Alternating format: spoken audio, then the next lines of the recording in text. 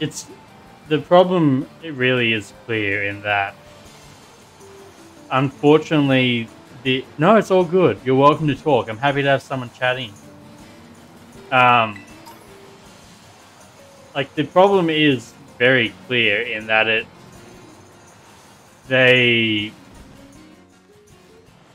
they've gone from a game company to a multimedia company and the games are just there to facilitate uh, all the other forms of media. And so the anime is actually legitimately good usually aside from the classic uh, forgetful hero syndrome. But as a result of that, of needing to get a new game out every year or two, and be able to get all the other media out on time as well, the games have suffered a bit for it. Like I, when I first saw the uh, animation choices for Sun and Moon, I was really thrown off. But after actually watching them, uh, it was actually pretty good. But then it led to my most annoying part about the next series, where Ash went from being, you know, the most powerful trainer in Alola, defeating an island guardian at full power, to forgetting how to catch a Pokemon in the next series again. So hard to decide. I could go for the Treasure Eatery in Medali, but Cascarrafa's Kofu Lounge also sounds good. Should we call a flying taxi? I'm headed out to catch Pokemon later, so I want to eat something that'll give me catching power.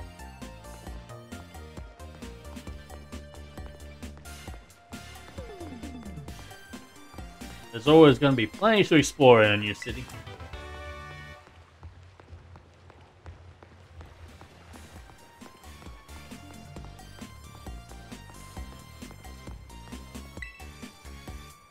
I went to make a sandwich, but I'd run clean out of a fix. Would you believe it? I go film so fast, I'd better buy them in bulk from now on. And here I am not making sandwiches at all.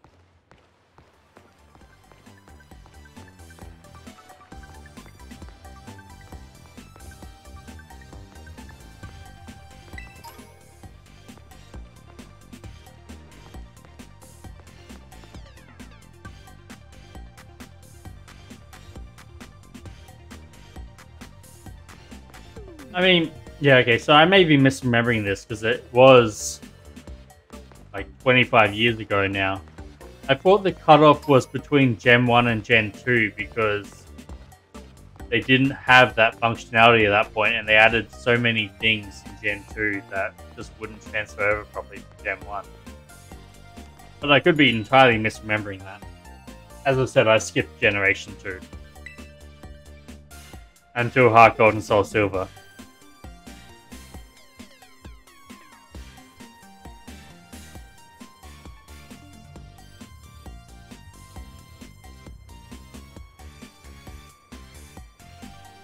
Oh yeah, like I've been playing Pokemon since I was a little kid as well, and I plan to keep playing as long as they actually make decent games. But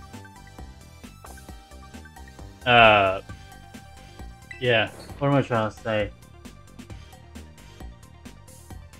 Uh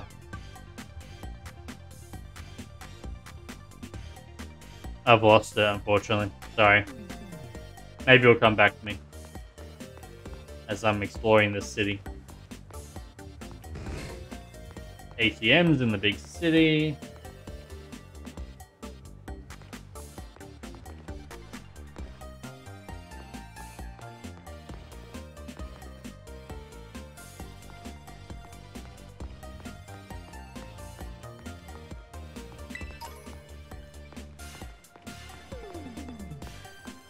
I may have to run a bit late tonight because I would like to take on this gym.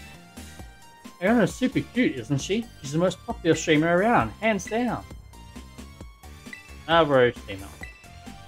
You see the latest episode of Iono's Zone? That collab with Tulip was great.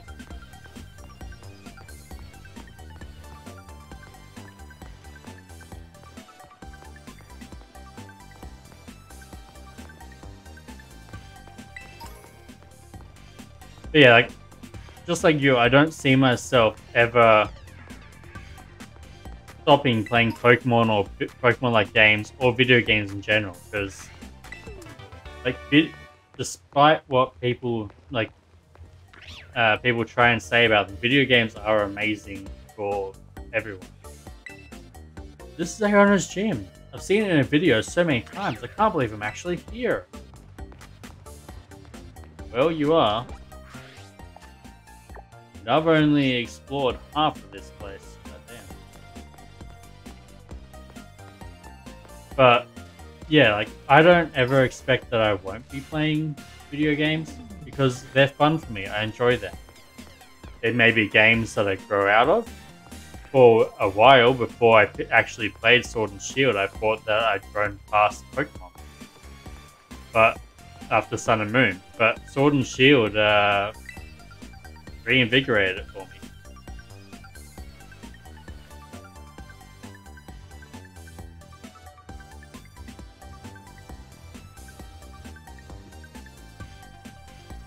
I don't have a Pokemon that I can ride on water. I don't want to meet some lovely sea Pokemon. If you have a Pincurchin, would you be willing to trade it for my Haunter? Maybe, but I need to uh, see if I have a Haunter. Because that Haunter will become a Gengar, which is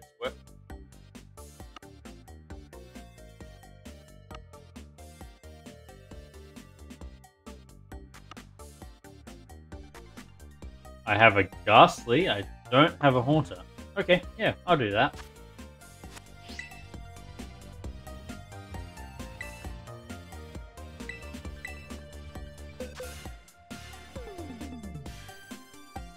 Uh, where is the Pincurchin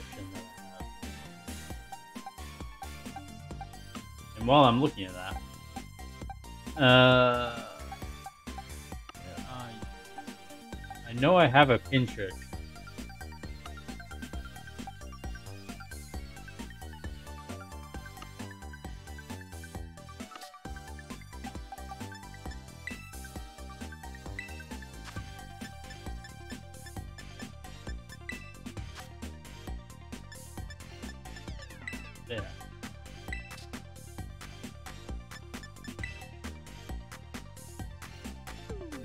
There you are.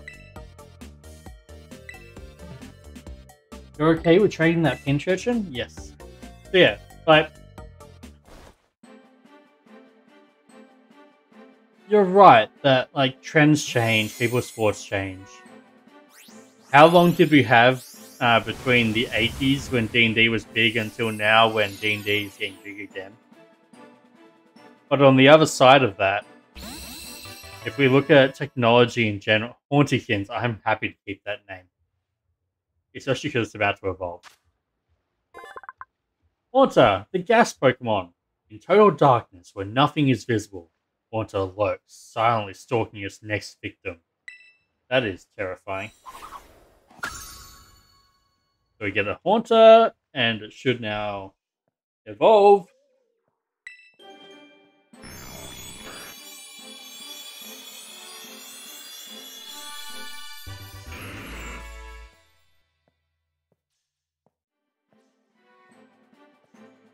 Congratulations!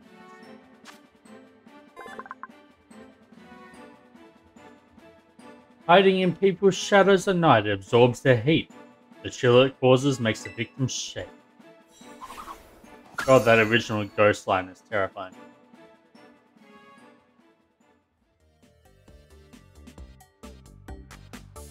Oh my, my darling Hauntikins evolved into Gengar? I heard rumors about Pokemon that evolve when they're traded.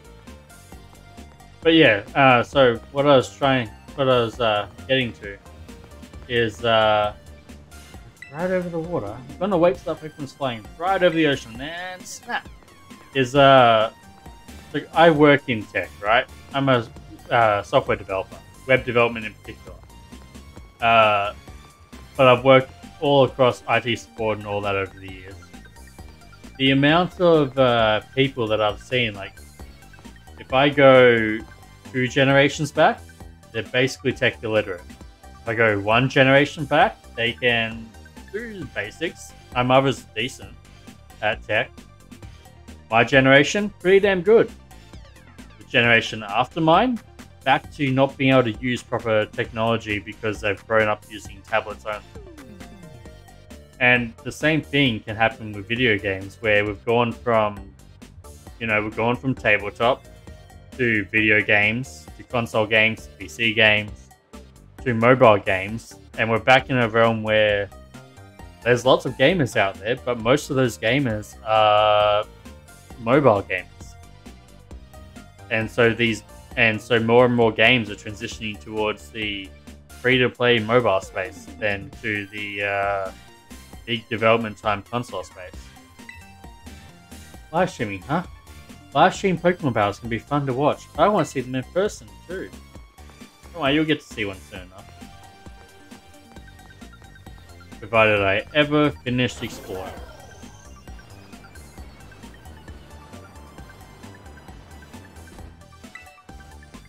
Everything in Tulip's limited edition line of makeup is so lovely and spoiled for choice.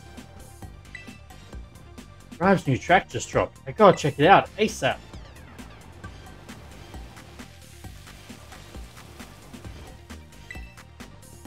Apparently, all five of these buildings are owned by a real estate firm called Paldea Realty. These skyscrapers are crazy tall. My neck hurts just trying to take them all in.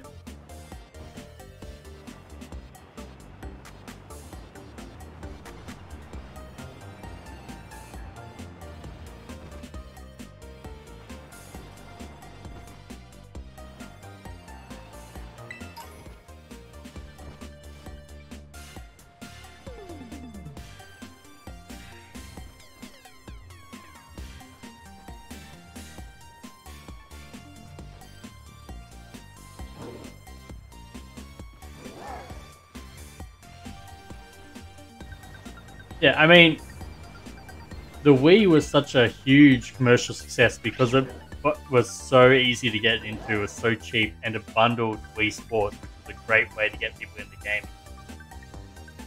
Where did the name Levincia come from? Is it from that old word Levin or Leviathan?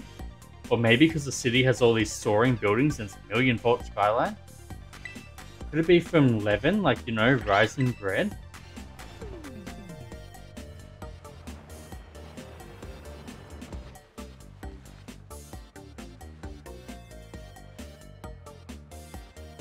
Yeah, the problem with the free to play games, and you know, I am hundred percent a uh, self-serving victim of this because I play way too many of them myself. Is uh, that they're loaded with microtransactions, and so you think, oh, you know, it's just five dollars. I'm just using it, paying it this once to make my life a little bit easier right now for playing.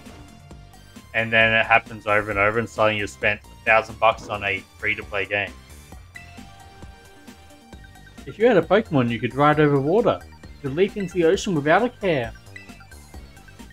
The Levincia started as a port town that shipped ore from the mines to various other places. It's hard to believe that Humble Port went on to become the high-flying business hub it is today. I mean, actually, speaking of Pokemon Go, like that is one of those uh, free-to-play games that I do play.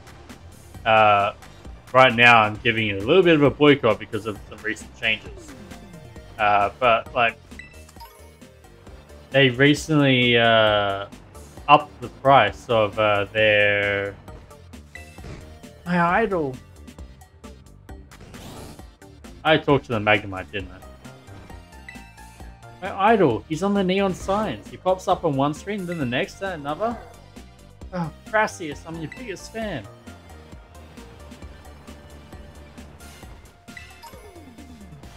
Like I I used it as a reason to get back into walking and to get some exercise and help me out there, and it really did work. Like it was a really good reason to do so. It was a good for me. But and I don't spend much money on. But then they have been doing things like they just recently said they were going to increase the price of the remote raid passes, which is the only way rural players like myself can really do raid and they're increasing it by almost double, and they're also limiting how many use a day. So it's really just a big screw you to uh, rural players, while also bringing in more money for them. Eventually, it feels nice and safe thanks to all the security cameras around the place. I hear the footage they capture is used for the gym test.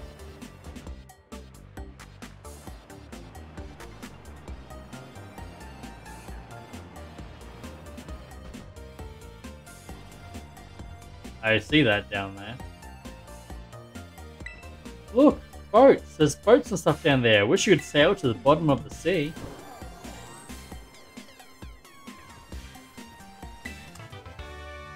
And it's just an electric train. I've already got one. Yeah, I mean, Pokemon Go is good for getting all those event Pokemon that you can't get elsewhere. And it's also just a fun experience to, you know, go out and catch things in the real world.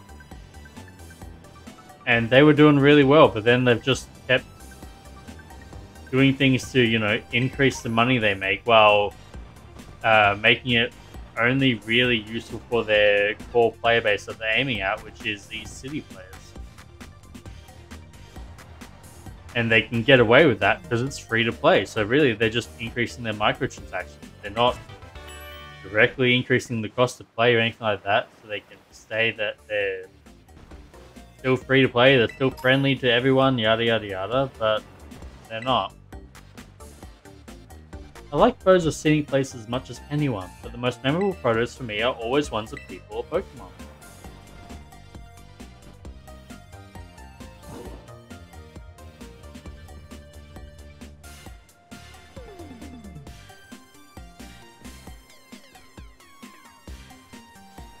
Yeah. The, uh, as I was saying earlier, that's one of the things that I really liked about uh, ORAS was how I could just go get all those legendary Pokemon. If you climb the lighthouse up ahead, you'll get a great view of the whole city of Levincia.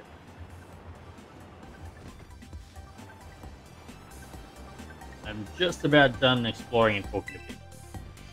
I heard the Academy has mountains of books. When I start studying them, I'm gonna read every single issue of our culture. Done that.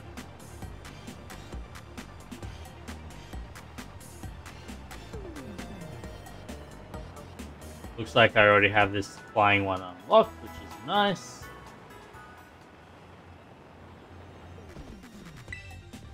Oh, I watched the gym's live stream of a trainer named Nemona. Her Pokemon were awesome. There's Nemona. Munch Munch. Heard the Adventure Gym live streams gym tests of all its challenges.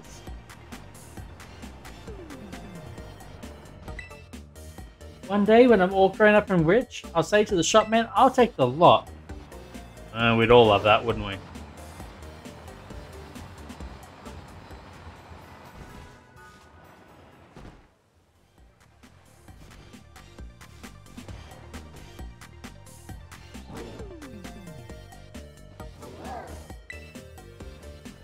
Changing up your look also changes up your whole mood.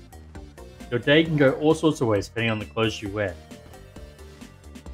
See, I don't mind spending the money because like I, to me, it's like five, ten bucks here and there every couple of months when a big event's on and I need raid passes. That's totally fine for me. I don't mind doing that. I can afford that. For me, it was 100% the fact that they just decided they were going to double not only double the price but also limit the number that you can do per day meaning that if you didn't have somewhere where you can do reliable in-person raids you're just out of luck. That legendary that you want to get you're probably not getting it. Oh you actually managed to catch it? Well it's probably got mediocre stats and the chance of you getting ones with good stats or with a shiny basically zilch. Yeah, but I do go outside to do it. I don't use the raid passes because I don't want to go outside. I use the raid passes because I live in a rural area that doesn't have uh, anyone to actually play with.